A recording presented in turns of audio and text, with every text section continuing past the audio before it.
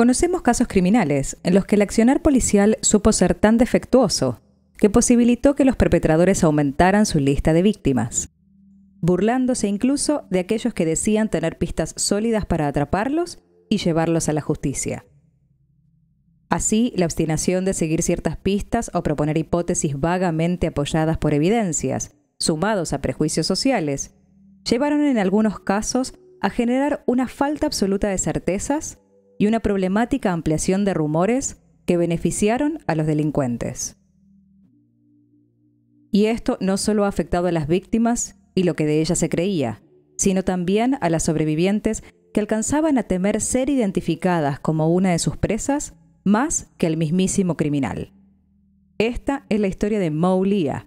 la sobreviviente del destripador de Yorkshire. El 25 de octubre de 1980, Maureen Leah, apodada Mo, había planeado con sus amigos salir por unas cervezas como solían hacer los sábados por la noche en los pubs de Leeds, en Reino Unido, zona reconocida por los espacios de entretenimiento y arte. Y así lo hicieron, porque además tenían que tratar un importante tema, la organización de su fiesta de cumpleaños número 21, que llegaría días posteriores. Su novio de aquel entonces no había asistido por otros compromisos y ella sabía que volvería a su casa sola. Y aunque no sentía particular miedo porque lo había hecho en innumerable cantidad de ocasiones, no era lo recomendable en aquella época, abrumada por una serie de brutales crímenes sobre, hasta ese momento, 11 mujeres. La salida no fue larga, por el contrario, se retiraron a sus hogares temprano, no solo porque no tenían más dinero para consumir, sino porque era prudente no transitar por las calles a altas horas de la noche. Salieron del pub y el grupo se separó. Moe se fue sola a la parada del transporte que la llevaría a su casa, y para ello tomó un atajo por una zona que conocía previamente y que creía estaría bien iluminada, y además temía perder el bus y retrasar por mucho la vuelta a su hogar. De pronto escuchó una voz detrás suyo que la saludaba de manera amigable y pensó que quizás era algún estudiante del campus de la Universidad de Leeds o alguien que conocía, por lo que giró y volvió sobre sus pasos para poder reconocerlo. Pero no era alguien que hubiese visto alguna vez. Era un hombre de cabello oscuro, delgado, que con clara intención de querer sostener una conversación le hablaba casi de manera agradable, pero su postura, algo inclinada hacia un costado, como fingiendo una imposibilidad para moverse y de alguna manera forzarla a ella a ir hacia él, le generaron mucha incomodidad. Se disculpó y le dijo que debía apurarse para no perder su transporte, y comenzó a alejarse tan rápido como pudo, sintiendo de inmediato que él también aumentaba la velocidad de sus pasos en la misma dirección, siguiéndola. Tan cerca sentía su presencia, dijo, que se le erizaron los cabellos de la nuca, en clara señal del terror que se aproximaba y que su cuerpo parecía entender a la perfección. Y corrió cuanto pudo intentando llegar a la parada del autobús, pero de pronto una enorme presión en su cabeza y la sensación de acercarse sin poder detenerse al piso la sorprendió. Perdió el conocimiento en el transcurso de la caída, no sin antes gritar, y aunque no recuerda más que el golpe y el descenso, logró enterarse tiempo después que ese grito fue posiblemente lo que la salvó, porque alertó a una pareja que pasaba cerca y quienes pudieron advertir que alguien la golpeaba repetidamente en el piso. Los testigos se volvieron colaboradores corriendo hacia ella, gritando para que el agresor se detuviese y logrando finalmente que se fuera, dejándola a Moe en el suelo, bañada en sangre e inconsciente. Para ese momento, Moe tenía múltiples lesiones en el cuerpo. La mandíbula completamente rota, fracturas en las mejillas, en el cráneo, heridas punzantes en el cuello realizadas con lo que, se sabría después, sería un destornillador, y una serie de hematomas de enorme gravedad en la cabeza y en los ojos. Pronto fue llevada a un hospital y sus padres fueron informados del ataque, pero cuando desesperados llegaron a verla, no la reconocieron. Era tal la magnitud de los golpes que su rostro estaba irreconocible. Su pelo parecía oscuro por la sangre y su imposibilidad de hablar hicieron que las enfermeras tuvieran que señalarles quién era su hija. Y fue en su reacción que ella entendió la gravedad del hecho, de lo monstruoso de la situación, del peligro que había corrido.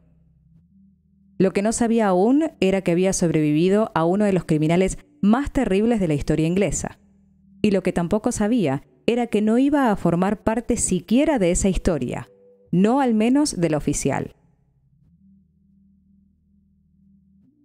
Entre 1975 y 1980, el estripador de Yorkshire era conocido de manera infame como un limpiador de calles, un criminal que sacaba de la escena pública a los sectores marginales como si de un favor se tratase. Este asesino de prostitutas, que en el total de su raíz criminal asesinó 13 mujeres y fue acusado de intento de otras 7, era el tema del que todos opinaban por aquel entonces con los fragmentos sobre los casos que la prensa y la policía ofrecían a la sociedad. Pero ninguna de todas ellas era Maulia, quien en primera instancia, al reconocer tanto ella y los investigadores que su agresión compartía rasgos con los de ese criminal, descartaron su autoría primero y principal porque no era una trabajadora sexual, ni tenía vínculo alguno con todo ello. Y esa era la única línea de investigación que se sostenía, incluso cuando algunas de todas esas víctimas tampoco compartían esa característica. Desde el inicio de la investigación, la policía y la prensa que reportaba lo que ellos declaraban, explicaban que no debían temer a aquellos cuya vida no se asemejaba a esa labor, porque el criminal estaba de alguna manera limpiando las calles, y con esa perspectiva estudiaron el caso casi con desgano, como si el asesino estuviera haciendo una acción social loable.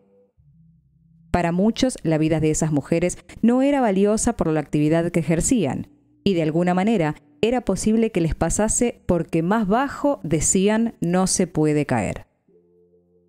Ese prejuicio social hizo no solo que no atendieran la gravedad de un brutal asesino serial entre los ciudadanos, sino que incluso Moe no quisiera ser reconocida como potencial víctima y sobreviviente de ese hombre, porque podrían pensar sobre ella las peores cosas.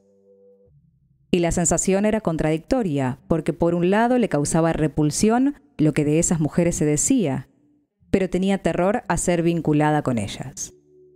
Era más fuerte el prejuicio social instalado que asumir y luchar por haber sido atacada ferozmente.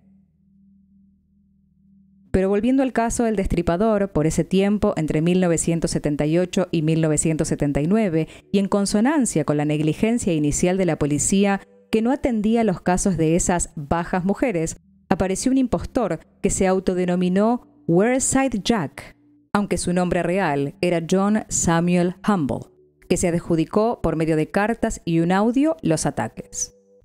Su presencia en el caso hizo que las autoridades se dedicaran por completo a su búsqueda y dejaran de lado las inconsistencias de esos elementos, y al mismo tiempo brindaran vía libre al verdadero perpetrador que siguió atacando mujeres, no solo trabajadoras sexuales, sino también de clases sociales más elevadas. Entre ellas estaba Maulia, que en los días siguientes a la agresión fue informada por la policía que su caso había sido catalogado como un ataque casual y no estaba vinculado al sujeto que tenía en vilo a la sociedad británica. Según ella, de esa manera no mostraban su incompetencia y su ignorancia respecto del caso, y por cierto, no daban respuesta a sus interrogantes y al miedo de volver a salir a la calle, porque su atacante tampoco había sido apresado. Y fue por eso que empezó a pensar que, al no considerar su caso vinculado con aquellos, entonces había alguien que quizás, cuando saliese del hospital, querría terminar lo que había empezado. Vivía con pánico a salir a la calle, aunque eso no interrumpió sus estudios. No salía de noche, tenía todos los recaudos posibles, sus amigos y novio de aquel entonces la acompañaron en eso, dejando los encuentros para el horario diurno, y ellos tampoco salían después del anochecer. Y dos meses después del ataque, se enteró que habían matado a una joven de su misma edad en circunstancias similares. Esa joven era Jacqueline Hill, la víctima número 12, cuyo cuerpo fue encontrado con demora por el mal accionar policial, de nuevo, porque su desaparición no seguía la obtusa hipótesis de la investigación oficial.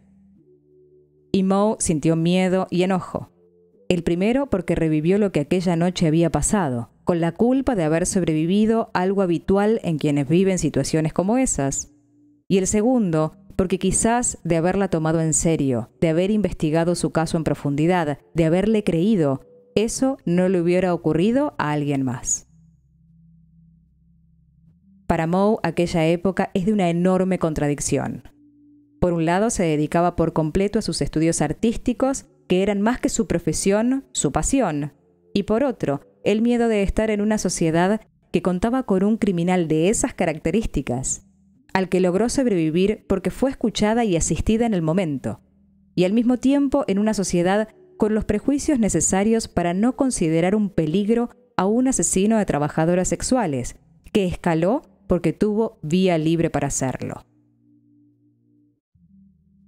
Esa sociedad que condenó a esas mujeres porque la policía no se encargó de delitos semejantes generaba impotencia, decepción, miedo, desesperanza, y eso lo plasmó en su arte, intentando encontrar en lienzos una realidad más justa de la que veían las noticias y en las calles. Por ese entonces, en 1977, la primera ministra inglesa, Margaret Thatcher, hizo un anuncio desaconsejando a las mujeres caminar solas y de noche por las calles, y como alternativa ir acompañadas por hombres para su seguridad. Pero la comunidad de Leeds sintió esto como una provocación, casi como un insulto, porque era un hombre el que hacía esas acciones, y además las mujeres deberían tener la opción de caminar libres por las calles si ese toque de queda era impuesto a ellos. Si los hombres se quedaban en sus casas, encerrados como se pretendía que ellas hicieran, no habría peligro alguno. Porque de no haber agresor, no habría víctimas. Y por eso se realizó la marcha en recuperación de la noche llamada Reclaim the Night March, a la que de manera multitudinaria salieron a la calle todas las mujeres para demostrar que su seguridad no debía depender de sus acciones, sino de las de una sociedad que debía interrumpir la violencia contra las mujeres por el simple hecho de serlo, encarnadas en este caso por un criminal de semejantes características como el destripador de Yorkshire. Por cierto, a esta altura todavía no se tenía idea quién podía ser el agresor, pero al mismo tiempo la policía tenía una extensa lista de sospechosos entre los cuales no figuraba un nombre en particular, a pesar de haber sido interrogado en nueve ocasiones. Él era Peter William Sutcliffe. Y no solo su arresto fue un golpe de suerte para la policía, sino que fue él quien, sin demora alguna, confesó todos los crímenes y nombró incluso algunos de los ataques que no habían finalizado como dijo, esperaba. Trece asesinatos, siete intentos, de los que se cree fueron muchos más, y a ciencia cierta, podríamos decir que eso es verdadero, porque de Moulia nunca dijo una palabra. Se especula que él negaba ese hecho, y tantos otros quizás, por lo impulsivo y poco organizado del ataque, porque había sido descubierto rápidamente y porque no le servía para jactarse, como hizo, de pasar totalmente inadvertido, algo que lograba a tal punto de abandonar los cuerpos en ciertas zonas y tener tiempo de volver a visitarlos antes que la policía siquiera tuviera noticias de las desapariciones o se hiciera cargo de ellas.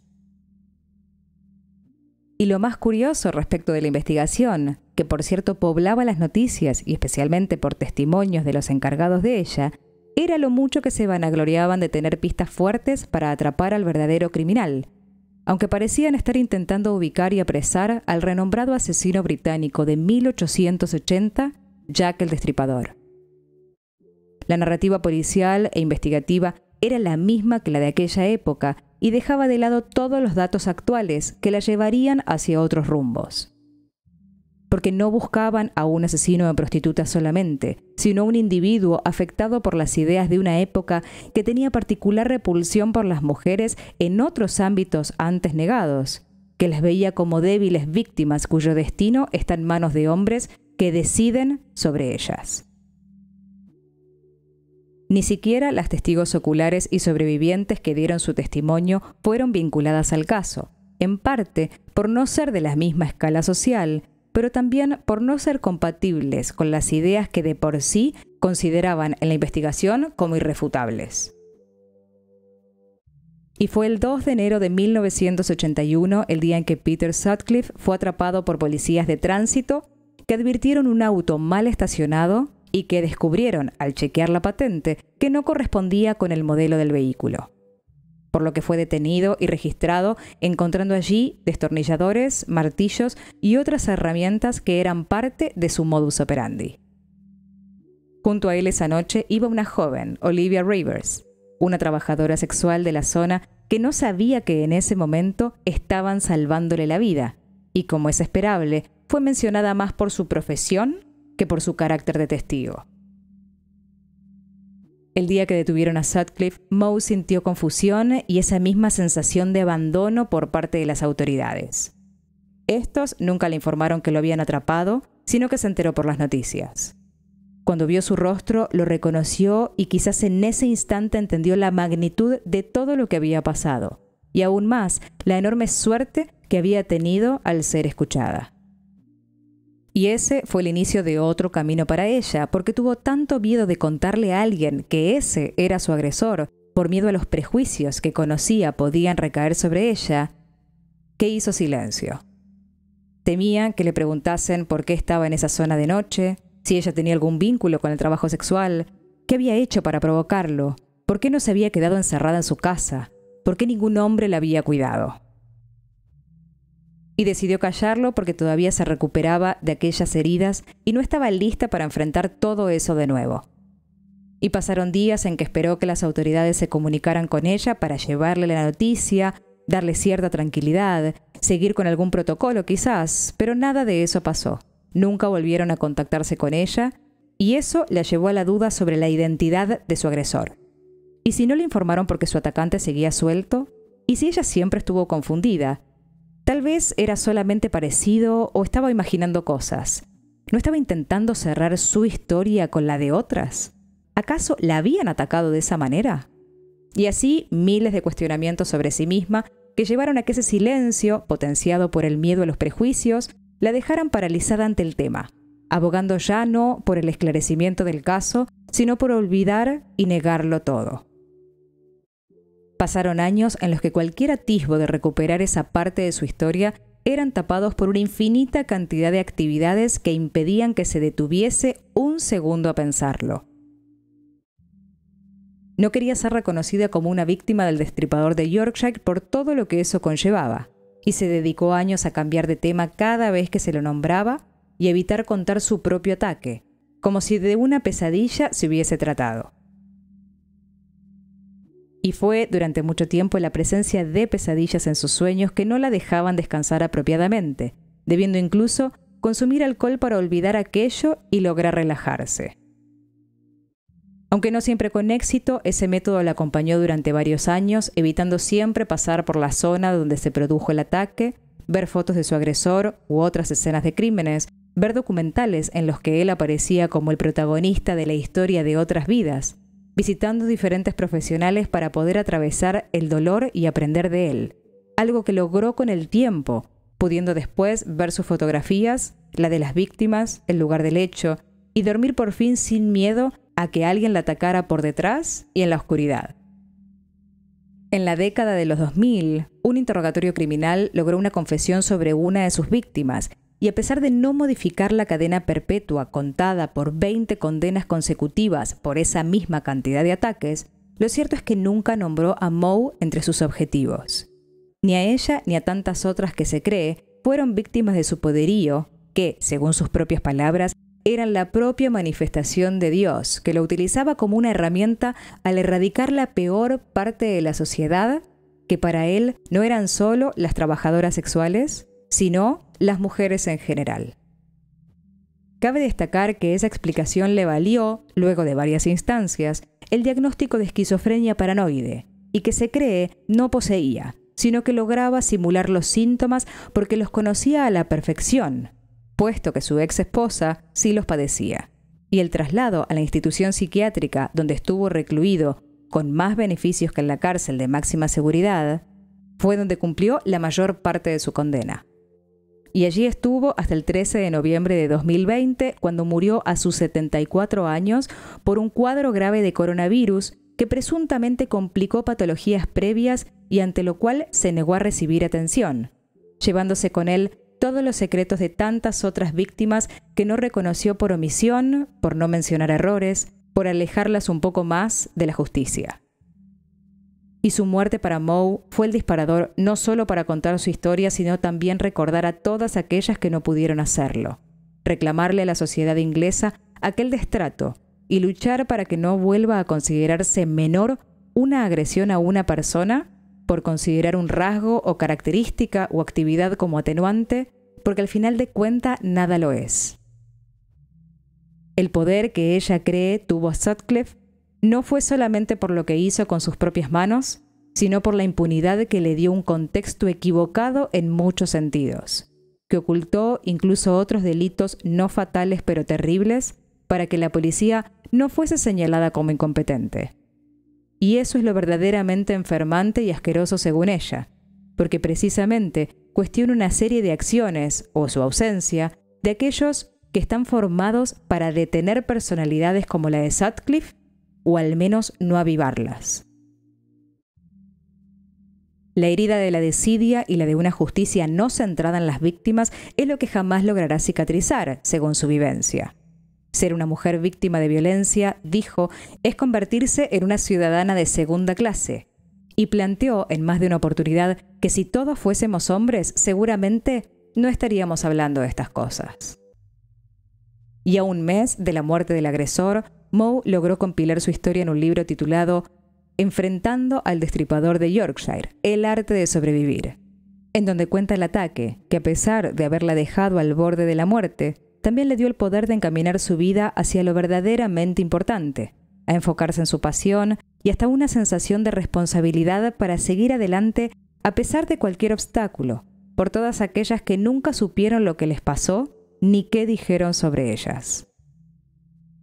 Eso no pudo arrebatárselo Sutcliffe y siente orgullo de su camino hasta ahora, de haber convertido el enojo y el odio en aspectos productivos de su vida y su arte, aportando una voz más a la lista de mujeres que sobrevivieron violencia y que con eso intentan derribar cualquier interrogante sobre por qué fueron agredidas, porque la culpa no es de ellas, sino de quien sintió que podía hacerlo en un contexto que no lo detuvo cuando tuvo la oportunidad. Es imposible para cualquier individuo quedar ajeno a las situaciones que se gestan socialmente, y muchas veces esos acontecimientos afectan tantas vidas a la vez que parece increíble haber logrado escapar, como si del destino se tratase la lección a aprender por las malas. Sobrevivir a sujetos de alta peligrosidad es una de ellas, y este fue el caso de Maulia, la sobreviviente del estripador de Yorkshire. Una de esas historias que vemos en los diarios y nos parecen increíbles. Una de tantas que nos enseñan que lo imposible está delante de nuestros ojos. Gracias por compartir esta historia. Si el video te gustó, dale like, comenta y suscríbete para seguir viendo más realidades de ficción.